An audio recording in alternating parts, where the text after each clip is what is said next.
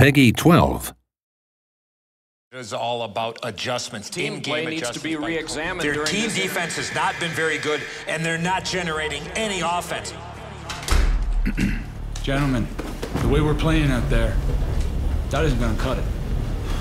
Not in this league. Not in any league. All that matters is what we do with these next 20 minutes. So ask yourself, what makes a team great? Is it talent? Or is it teamwork? Is it doing whatever it takes to win? Not for yourself, but for the man next to you. That's what separates us from them. Winners from losers. It's been a long, hard season, but here we are. One more shot. Play the next 20 minutes for each other and leave the ice as champions.